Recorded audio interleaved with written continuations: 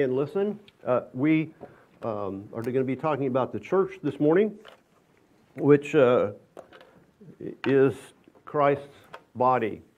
And um, when I first started here, uh, the, the church was going the other direction and back that way. And, and you could you could look, and about 12, a little bit before 12, like I think I've mentioned before, people started going. I don't want to see any of that. Uh, now it's not a watch; it's a phone. What time is it? You know, and everybody's going. but uh, the uh, I think this reverted back to black. But anyway, the, something happened with the deal. I'm not sure what, what that is, but um, it, it's kind of odd. The we're going to be talking about the truck. The truck. A, a, we're going to talk about a truck actually, but we're going to talk about the church. But the truck is what we're going to start out with. Everybody's going, what? Not my truck. It was a Ryder truck. I think it was a Ryder truck, if I don't, if I remember right. And uh, Paula and I packed all of our stuff in it. Uh, went uh, to a place that I knew and put a, our car, yellow station wagon, Opel 1.9 four speed, in there, and drove to Dallas. We we did not know uh, what we were exactly going to do, except I was going to seminary. We didn't have a job, didn't have a place to stay. We didn't even have a place to stay the first time. About three days after we got there, we had to turn the truck in, minus all our stuff that needed to be somewhere, including our car. And does ever, anybody remember this story? Paul remembers it, maybe. I hope so. A long time ago. And uh, so, sorry about the crunch, crunch. The the uh, and so we came to Dallas, and actually we kind of got turned around because we were trying to go down to where the seminary is, right east of downtown Dallas, uh, on Swiss Avenue, and we ended up down here in this area. Actually, we ended up at a motel down here, and we also had to drive around because we didn't in the truck because we didn't have our car. It was stuck in the back of the truck because you can't just back the car out and go bang on the floor. So we, I, we had to go around trying to find a, a, warehouse that had not only a dock but a ramp to get the car back down. And interestingly enough, not too long after we started looking for that, we found one. And, and the people were friendly, and we, we, you know, they let us take the truck out. We didn't have to pay them, you know, drive the truck, I mean, drive the car down the ramp. And and God worked that, worked that out. He worked out a place for us to stay at the, at, in seminary housing until we found uh, an apartment right down the street that was $100 a month. And, but we, we had to move into one side of, of the hallway because ours wasn't ready yet. And then when it was ready and the people moved out, we moved across all our stuff back across, you know. So it, it all, but it all worked out. And so we also left a pretty good church. It was the fastest growing American Baptist church in California at the time. Uh, American Baptist, by the way, if you know uh, Jeremy, that was the, the denomination of the church that they were in when they were in um, by Disneyland there in California. And so, anyway, it was a good church. Had some issues after we left, like the uh, worship leader uh, being inappropriate with one of the singers and stuff. And they they got all through all that. My mother and stepfather uh, went to that church until my, my mom passed away. They both passed away. But it was a good church. And one of the things that we had to do when we came here is find a church. We left a good one. Came to Dallas because that's what we thought God was calling us, but we needed to find a church. And you know, the first few weeks or first uh, actually semester, because I was in a class on how to find a church. Well, not exactly, but different churches in Dallas. So we went to a number of different churches in Dallas associated with that class. And, you know, we finally found a church that, that we started to attend and go to in, in uh, on Garland Road. Uh, Reinhardt Bible, uh, it's now changed to uh, northwest, up can't remember. Uh, there's a mall thing up there that's named after. But anyway, they moved out of there and then moved someplace else. But we we had to find a church, and the reason why is because church is important. You know, I just didn't come to Dallas to go to seminary. I came also. It, it, we had to have a, a fellowship, a church to go to. Church is important. And so, and the, and the idea, the understanding of the church, we have to have that understanding in order for us to kind of know the kind of church that we are going to be looking for. Right now, we're going to be looking, in, all of us are going to be looking for that place that we can serve Jesus in a fellowship and a community. Uh, that, what to look for. But first, we have to talk about the church, and that is ecclesiology. Has anybody heard ecclesiology before? That's a Greek term, and it comes from ecclesia, which is uh, church. no, it's actually it's actually uh, a gathering, an assembly, a called out assembly. Oftentimes, it was used uh, in a secular sense for uh, calling out the people of the community to come to make decisions. It was somebody, it was a gathering together. It, and it came to mean, as the New Testament p- progressed, the church, the way that we kind of understand it now. And so when you see ecclesia in the New Testament, or you see church in the English, it's almost always ecclesia, or a derivative of, of that. It comes from the word kaleo, which means to call, or to call out, or to call to come. Uh, and there's essentially two ways to look at ecclesia in the New Testament, two ways to look at church. Uh, the first way is the local church, okay? The, the, the, local church is like the church that we have here. It's a local church. Uh, in Acts uh, 2.41, you see the beginning of the church as the, the Holy Spirit at Pentecost came down and dwelled the believers, and church started. All right? So then, those who had received his word were baptized so that the day, so that day there were added about 3,000 souls. They were continually devoting themselves to the apostles' teaching, to fellowship, to the breaking of bread, and to prayer.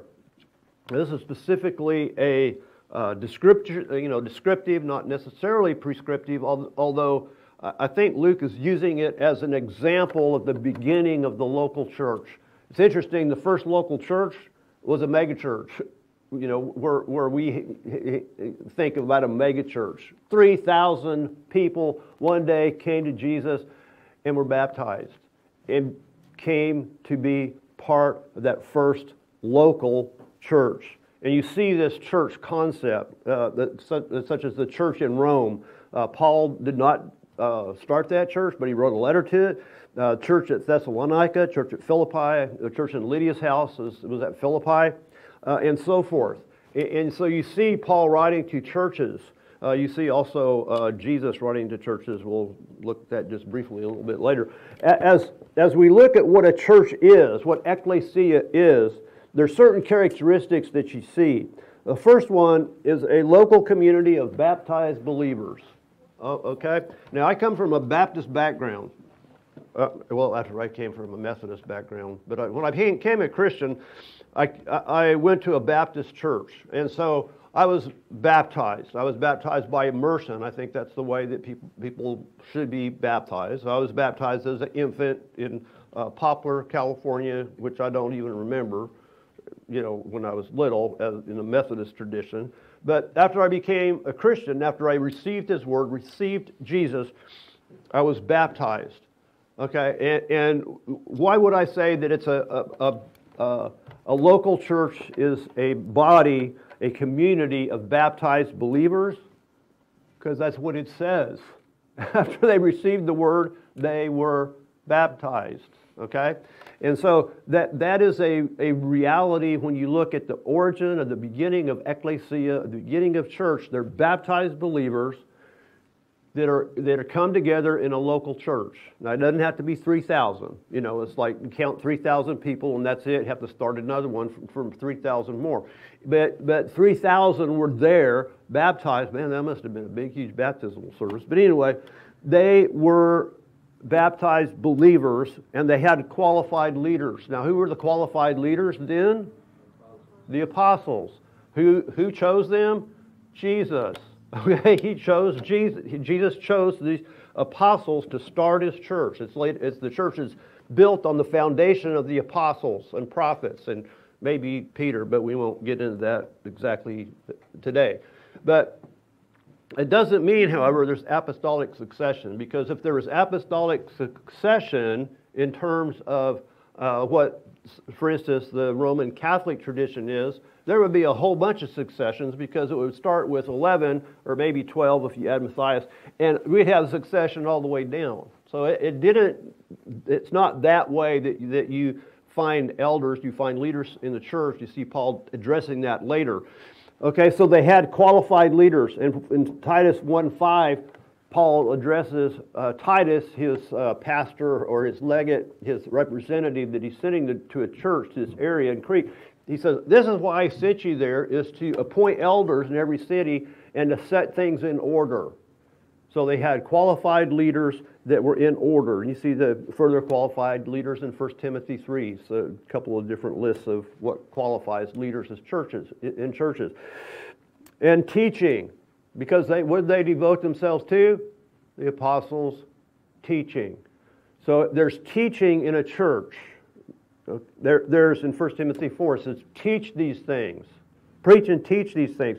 And there's sacraments, just like we had today, the breaking of bread, fellowship and breaking of bread. I think it's both, both are in that concept of fellowship and breaking of bread. Is there, they had uh, sacraments. Some people add uh, different other ones uh, to, to that, like foot washing. We don't do that here. I've been involved in foot washing ceremonies. We don't do that here. But there are sac- sacraments, not in the Catholic sense, but in kind of the you know what I mean sense. And there was prayer, all right? There's prayer. Now, some people say, well, you can have a church, just, you know, a couple people in your living room just kind of kind of discussing, you know, current events and scripture, and that's a church. Uh, not really. That's not a New Testament concept of what ecclesia is. There's certain things in ecclesia Okay, there's baptized believers. There's leadership there. There's a sac- there's the, the coming together in fellowship to do sacraments. Then there's prayer together. You might have one or two of those things, but essentially, if you don't have those things, you don't have church. And so that's what church is. That's ecclesia, and that concept goes all the way through the New Testament down to today. And the second way church is used is the universal church. Now, we're not talking about Unitarian universal, we're talking about universal here. That means everybody. For instance, in 1 Thessalonians, the Lord Himself will descend from heaven with a shout, with the voice of an archangel, and the trumpet of God, and the dead in Christ will rise first. Then we who are alive and remain will be caught up in the air with them in the clouds to meet the Lord in the air, so we shall always be with the Lord. Therefore, comfort one another with these words. Why do I use that? Because that's the first time the universal church is going to meet together. You know, some of the people of the universal church are not here live, but they're part of the universal church, live like here, part of the universal church. And when Christ comes, the whole universal church will arise with him and live with him forever. Now we get some kind of glimpses of that universal church with Christians and churches all over the place, all over the world, right? You know, we have, we have Christians and we have no Christians. Uh, we talked about today. Where are they going? Down here in Oaxaca. Uh, who's, who's over here? Huh? Groshes are over here in Papua New Guinea. New Guinea is uh, this whole area here. Part of it, so part of this is Indonesia. The other part is Papua New Guinea, a different country. Uh, I don't know anybody in Australia. Oh, I've got some cousins in Australia, but I don't know them. Anyway, there, and, and, we have somebody that's uh, up right in here. Who's that? Oh, Kaylee. Kaylee up is in right now is in Nepal, right? And we have others that are various places. Some in the United States, others various places. I know missionaries in Liberia. Yes. Do we have anyone in Antarctica yet? In who? Antarctica. No, I think we'll leave that to Jesus. Anyway, the, so but you know, I, I, do. I know missionaries that are that are in uh, Africa. Uh, I, I, know some that are at a seminary in uh, Monrovia, some that are in a Baptist uh, mission in in uh, Monrovia that that does do a lot of missionary things. So there's local church all over the place, and when we've visited different places, you kind of know people that are believers and part of that universal church. Even though you're part of a local church, we're also part of the worldwide global universal church. We've been a church in Great Britain, went to a low, uh, how, how I say that? Low church. Anglican low church, not the high church, but low church. That it's kind of more evangelical, and it's you know that's, there's two churches kind of in England. But anyway, and there there was a sense of community that we were all part of the church. Same way in, in, in Africa. Same, same way we've gone to different churches in, in here in the United States as we kind of traveled around. Church in California, church up in Oklahoma, down, uh, Methodist church actually, down south that was very evangelical. I thought they were going to have an altar call. So, you know, it's, it's like the universal church is everywhere, but it's also those that have gone before. And Jesus is the one who builds his church. I also say to you that you are Peter, and upon this church I will, on this rock I will build my church, and the gates of Hades will not overpower it. He's talking about the universal church here, okay? That, that Satan is not going to overcome what, what God is doing through Jesus Christ. Jesus is the head of the church. Now, however, how you understand uh, Peter and the rock and all that kind of stuff um, really doesn't matter at this point. It's not what I'm trying to focus on. The focus is who is the head of the church. Pe- Peter? Nah. You know, he was foundation, what? Apostles and prophets. It's Jesus. Jesus is the head of the church. It's his church, not my church, not your church in this sense, not somebody else's church, you know, not Swindoll's church, okay? Not anybody's church here. It's Jesus' church. No matter what church you go to, if they're believers in Jesus Christ, it's a body of baptized believers that have those parts of that kind of the, of the church that are there. It's Jesus' church. And He will build it. It's His body. Now you are Christ's body and individually members of it. Think about that because that's serious. As a church of Jesus Christ, we're part of His body. Now I rejoice in my sufferings for your sake, and in my flesh I do not share on behalf, I, I do my share on behalf of his body, which is the church, filling up what is lacking in Christ's afflictions. You can have a whole theological discussion on Christ's lacking, how that works as God. But what he's saying is that Christ came, died, and rose again. But there's still more stuff and work to do here. Just like Jeremiah said, there's still service. You know, we can wait for Jesus. It- it- but that's not what we're called to do. You know, that's not what Paul is called to do as he writes to the church in Colossae. I do what I can, building up the body of Christ. And it's Christ's body, not mine. Sometimes it loses perspective. Sometimes the church loses the perspective that it ought to have. In uh, 1 Corinthians, it's one of the classic losing perspectives. Now I exhort you, brethren, by the name of our Lord Jesus Christ, that you all agree and that there be no divisions among you, that you be made complete in the same mind, in the same judgment. Their perspective was being split. Oh, I, I follow, you know, I follow Paul, I follow Apollos, I follow whoever. And some of the real spirituals, one says, I follow Jesus. And Paul is saying, you, you lost the perspective. The perspective is Jesus. The focus is Jesus. It's not your church. It's not your leader. It's Jesus. For Christ did not send me to baptize, but to preach the what? Gospel. Christ died for our sin, was raised on the third day, and by faith we have a relationship with God through Jesus Christ.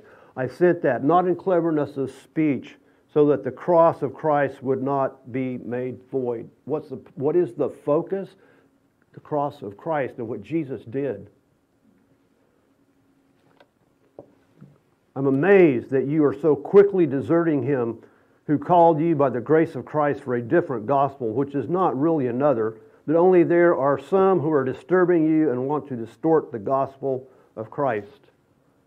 you guys lost the perspective. In fact, I, Paul's saying you, you've almost lost salvation here. Your focus is on the law instead of on Jesus. You know, you think you have to be a Jew before you become a Christian. And Paul, Paul's saying you lost it. That's not how it works. You become a Christian by faith in Jesus. And by the way, sanctification too. Jesus' message to some of the churches in Revelation. You know, Jesus is talking, you know, because it's red letters. You're lukewarm. You've lost your first love. You allow evil and idolatry to enter. You've lost that perspective. Who's supposed to be here? Jesus, not these folks. A focus on wealth instead of a focus on Jesus. that stuff never happens today. Jesus is the head of the church. We talked about it before in Colossians. He's also the head of the body, the church, and he is beginning the firstborn from the dead so that he himself will come to have first place in everything. You know, part of what the church is doing as we move forward is so Jesus has first place. Not in our own lives, but around us. Because our perspective is Jesus. And then, you know, it's this. I think it'd come up here. Yeah. And some of us, you know, I mentioned wealth. You might think, well, that's what he's talking about. But that's not really what I'm talking about. Here, when you see a church and when Paul looks at a church, he's got elders, they are to be supported. Okay? The elders who rule well will be considered worthy of double honor, especially those who work hard at preaching and teaching. It's probably talking about also church ministries that they're involved in. And what, what am I talking about here? Guess what? I can talk about it now because it right now it's not it's not my deal anymore. You know, if we go out to different churches, it means we support them with our money. That the elders that are there, that are working hard at teaching and preaching and caring and pastoring, they deserve double honor. You know, some people say you, you have a church, you have the, you know, the average of the church, what their income is, you double it, and that's what you pay the elders. I, I, I don't, I don't agree with that, but I'm just giving an example of what kind of Paul is saying. They're worthy of that. May not get it, but they're worthy of it. So, they need support. Leaders should be supported. Obey your leaders and submit to them, for they keep watch over you as your souls. For those who will give account, let them do this with joy, not grief, for this would be unprofitable for you. If leaders of churches are all the time having to deal with issues and, and grief because people are not listening, it's hard. Fortunately, uh, by the way, I haven't had that too much. Know, when that happens, usually people leave, which is nice. I, I shouldn't say that. I'm, I'm, I'm bad. I'm going to be hit with lightning. Well, what does this say? It's like, Paul's almost like saying, Who do you guys think you are? Obey your leaders. You know, this, this isn't like just, you know, think about what they say. This is actually obey your leaders. Now, I can say this again strongly because this, uh, you know, it's not going to involve me much longer here, maybe somewhere else, and then I have to preach it again. But anyway, I mean, not that I'm going to be pastoring someplace, but maybe somebody will ask me to preach, and I'll say the same thing. Obey your leaders. Watch over your, they're- watch over your souls. Now, that's the church. And the church, you know, helps us, by the way. we, Jesus set it up so that it can help us, building and equipping. He gave some as apostles and prophets, and some as evangelists, and some as pastor teachers, for the equipping of the saints, for the work of service, for the building up of the body of Christ, until we attain the unity of faith and the knowledge of the Son of God, to the mature man, the measure of the stature which belongs to the fullness of Christ. Wow. That's the whole context. It's about building, about equipping the church. It's about encouragement. And news about them reached the ears of the church at Jerusalem. And they sent Barnabas off to Antioch. Well, what happened is that people have gone to Antioch, preached Jesus, and people have come to Christ. They started a church. And so the, the leaders in Jerusalem sent Barnabas because who was Barnabas? Son of disaster. No, son of encouragement. So they sent Barnabas off down there to then when he arrived and witnessed the grace of God, he rejoiced and began to encourage them all with resolute heart to remain true to the Lord.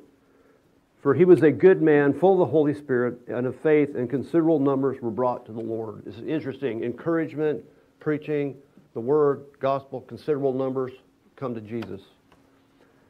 And let us consider how to stimulate one another to love and good deeds, not forsaking our own assembling together as the habit of some, but encouraging one another, and all the more as you see the day drawing near. Yep. What does that mean? Be part of a church if you're a Christian. Period. Don't be, don't be doing all the, oh, I can do it virtually. I mean, if you're sick and you can't go, that's fine. But I'm talk, talking about people who just want to sit on their hiney person thing. And, and just, I can be a part of the church just by watching TV. Now, like I said, if you're sick and it's hard for you to get out, you're homebound, whatnot, I, you know, I understand that. But people that are health, healthy, I mean, I can make it up here. Paul Walker, you know, he makes it up here. Praise God. You know, and that means assembling ourselves together. You go to another church, it means go to it. Help us grow. For him we proclaim and admonish every man, teaching every man so that every man is complete in Christ. For this purpose I also labor, striving according to the power which mightily works within me. You guys uh, probably saw the, the boo boo on my head, right? You know what I did? I told you, some of you. I came over here Friday. You know, Debbie said, don't come over here on Thursday because it was icy. So I obeyed Debbie and came on Friday instead. And so, and so I go out there and I get in the midst of the walk up to the stairs and it's icy. Man, I start sliding around, you know, and I'm doing the ice skating routine. And, and, and I almost made it over there. You know, I'm going. I can I can make it to the to the thing to the ramp with the pipe thing on top of this. Yeah, that. I'm trying to forget the whole thing, the rail. And so, and I'm on, and I'm, I'm not, I, I've got it, you know. And what happened is, I, I've got it. Bam! Man, my head, head hit that ramp, and I was going.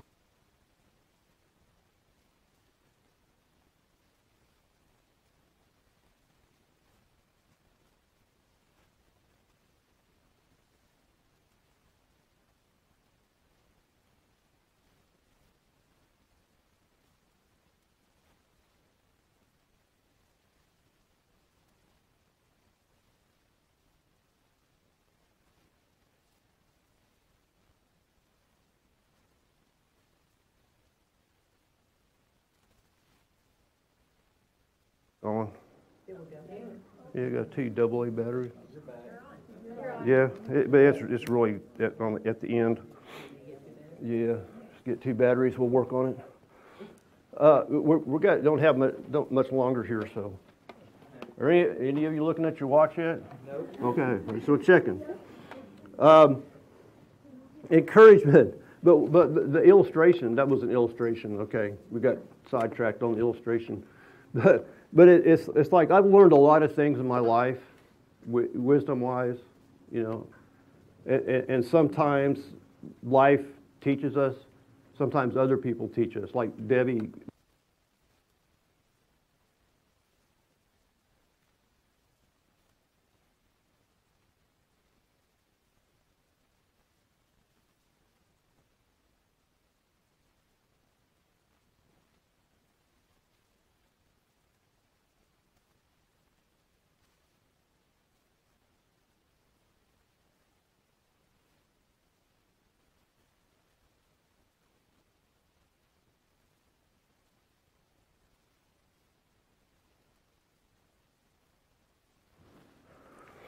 Never had that happen, I don't think.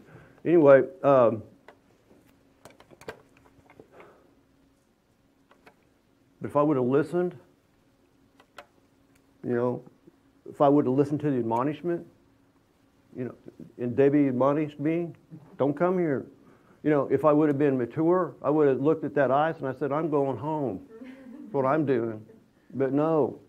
Or, or one of the things that I was thinking about, it happens a lot of times, you know, you, think you got it, and boy, I thought I had it. I had my hand on that rail. And that's when disaster happens sometimes. You know, we're, we need to make sure that we are really walking forward, you know, in maturity.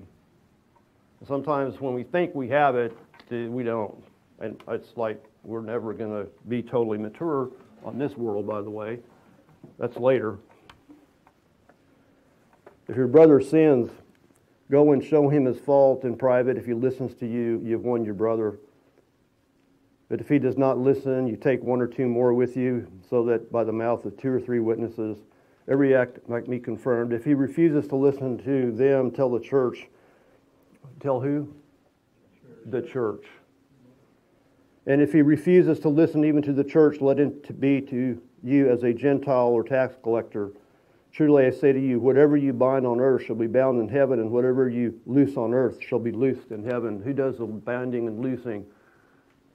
Declaring those things, the church. The church is involved in correction, and, and you know, the, what actually happened is the church building was involved in my correction but the church is involved in correction. Okay? That's part of it. And so it, it, and Jesus laid it out. You know, this is how you this is how you handle this stuff. Because people in the church are going to sin. You know, Jesus does not say the church is going to be perfect, they're never going to have any problems, everybody's going to be walking with Jesus. No, it says there's there's there's times that people are going to sin. And this is how you deal with that It shows the unbeliever Jesus. Just, we've talked about this before. Say, Therefore, if the whole church assembles together and all speak in tongues, and the ungifted men or believe, unbelievers enter, they will, will they not say you are mad? But if all prophesy, and an unbeliever or an ungifted man enters, he is convicted by all, as he is called to account by all. The secrets of his heart are disclosed, and so he will fall on his face and worship God, declaring God is certainly among you. What's the among you? The church. What's happening? Unbelievers coming in the door. Now, I'm not, we're not going to talk about tongues and prophecy and all that, how that works together, but the point is, what Paul is saying, y'all are, are, are talking and, and making a big ruckus that nobody can understand. All right? And, and, and, if you're if you're talking, every, one person comes with somebody with a, a, a statement or a, a, prophecy because they didn't have the Bible yet, where pe- and that's where people can understand. They're talking the language that people can understand, even either Aramaic or Koine Greek, depending, because I think they're most of them are bilingual. But what was happening is the unbelievers come in and they, they thought the Corinthians were absolutely nuts because they couldn't understand a thing they were saying. But what was, should have been happening is they would, should have been showing Christ to the people so they come to Jesus. Instead, they were, they were showing confusion, confusion and craziness. And that's what, and Paul, you know, for him and his time and all that, you know, he, he said, hey, I speak in tongues more than y'all. It's not the, not the issue here. The issue is people are coming into the church and they're not seeing Jesus.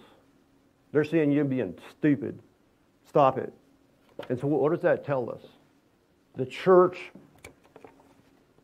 proclaims Jesus. The church shows the unbelievers Jesus and make sure when people come in the door, they see Jesus. They don't see something else. That's part of the church. The church is his body. Be like Jesus so unbelievers are drawn in. So, what to look for in a local church, in a place to serve? First of all, a focus on Jesus. Good news is evident.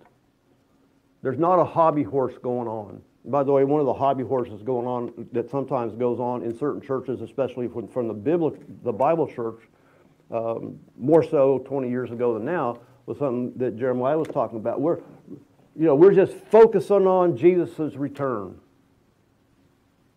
That's a hobby horse sometimes.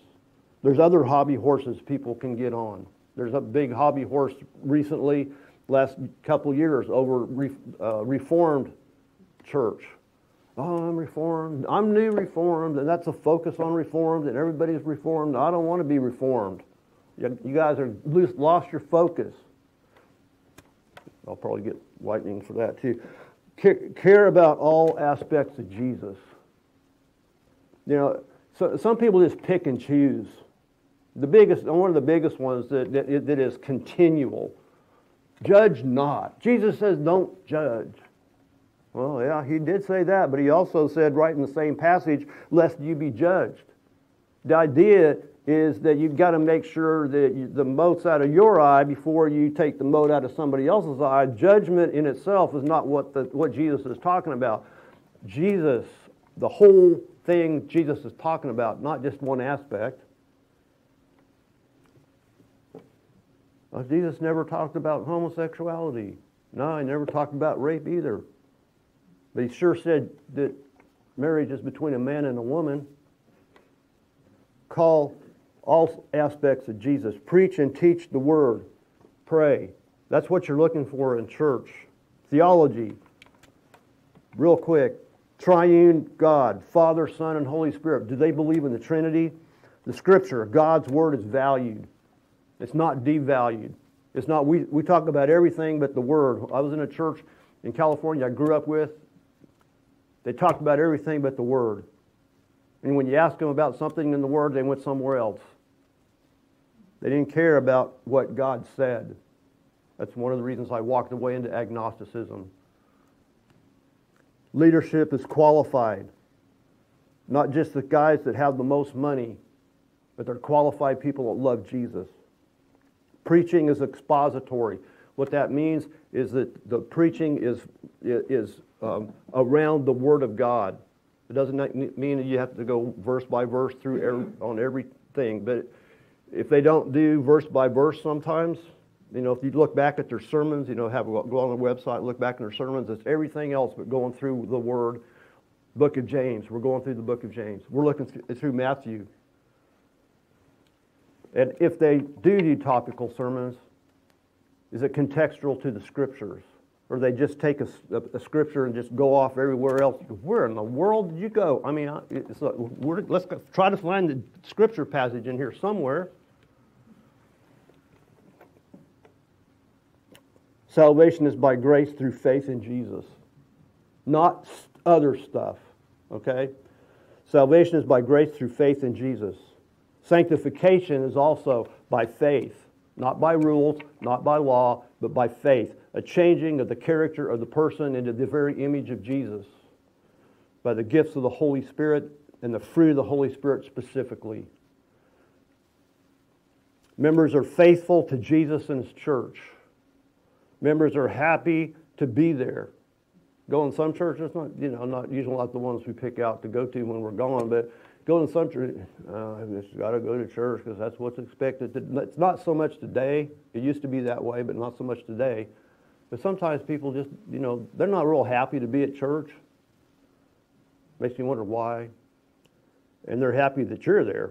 Okay, if you walk into the church and they're like, "Who are you?" That's not a good deal. You, you know, it's, it's like, I don't know if I want to be here either. The, happy that you're there and the church is compatible with your needs, okay? That's the last one, the only one I, I numbered. That's part of it. You know, some of the demographics in terms of maybe you're older and you want some older folks around, or maybe younger, will have kids, you know, and stuff, whatever. It's not mine to tell you what your, your, your needs are. But, that, but that's last. You know, it, it, you don't go put that at the beginning and then, well, maybe if they, you know, they, they preach the scriptures, you know, maybe, but that's secondary. No, that's all first.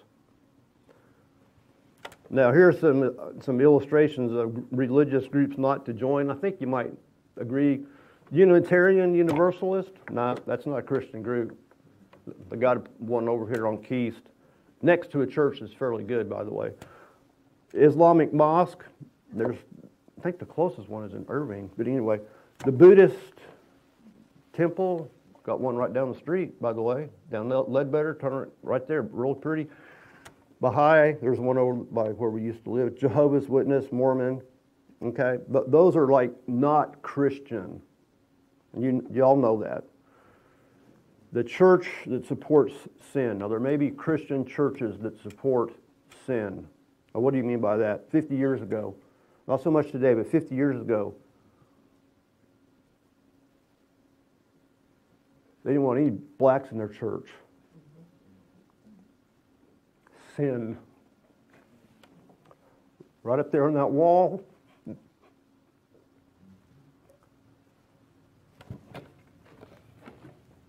Right up there. See it? That's the end of the pew. There's people that gave to the pews. You know what's up there?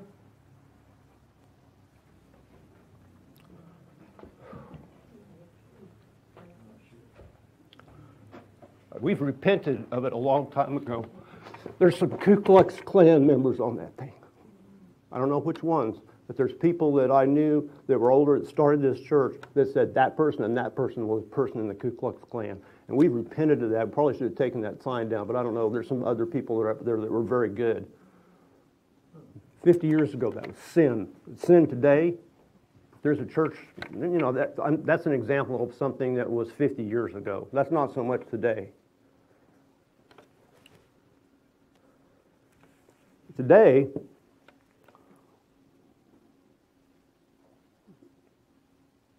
it's affirming. It's gay marriage. Okay, just this week, church in outside of Atlanta, pastor saying, hey, you know, our gay members, supposedly evangelical church, our gay members are, are, are more faithful than our straight ones. Oh, really? Sorry. That's sin. Now, it's not to say that, you know, that a gay person can't come in here. They're struggling. They're, you know, they're, they're walking with Jesus and they're struggling just like everybody else. That's different. But I'm talking about somebody that's affirming gayness. It's okay to be trans. It's okay to be gay. No, that's sin. Okay?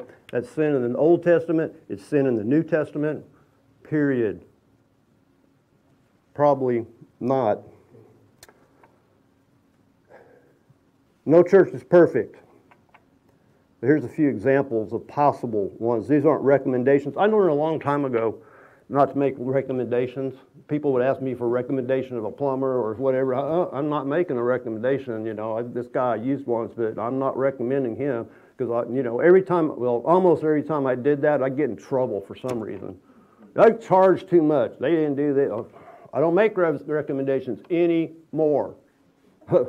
but these are some possible, these are the churches like this. Some examples, and these are in, in, order, by the way. Faith, Faith Bible Church in DeSoto, okay. Um, Fellowship Church in, in, Dallas off 75. I've been, I've been there. Uh, First Baptist of Duncanville, I haven't been there, but I know, know a little bit about it. Hillcrest Baptist in Cedar Hill. Uh, by the way, their old place where they used to be is Concord over here. Uh, Irving Bible Church, Kessler Community Church, that's a small church up in, uh, off of Hampton, uh, just past Fort Worth Avenue. Uh, a couple of our members went here to help establish that church. Um, what's that? Ke- Kessler Community Church. Um, Oak Cliff Bible Fellowship uh, over on, uh, Camp, on uh, Camp Wisdom. Uh, by the way, that was the original location for. You know where Faith Bible Church started, by the way? It started in a community center in Oak Cliff, moved to where Faith to Oak Cliff Bible Church is now, and then bought the property in DeSoto. Watermark Community Church up in North Dallas. You know, again, none of these are perfect, and I'm not recommending in any of them. They're just examples. All of them have issues. Waxahachie Bible Church, uh, Midlothian Bible Church. Many of many, usually if they have Bible church in them, it's probably okay because we're Bible church, so they're okay. so, what am I talking about? Go out. Now, not right now, we have a few weeks and we have a lot of stuff to do. Not right now, but go out. I know it's hard to find a church. I know uh, we went to Reinhardt for a long time. Then we decided to come to another one, this one. Um, it's hard to find a church. Peter, Paul and his wife, Barnabas, Timothy, Titus, Epaphras, Priscilla and Aquila, Apollos, Phoebe, and so forth. All of them went out. All of them, all of them. It's a kind of a Christian deal to go out. Go out, seek and join a church that loves Jesus and is following him in order to serve and to grow and witness about Jesus. So anyway, I know it's a. Uh, I think there's more of them. Yeah, there we go. I know it's a little late, but is there any questions?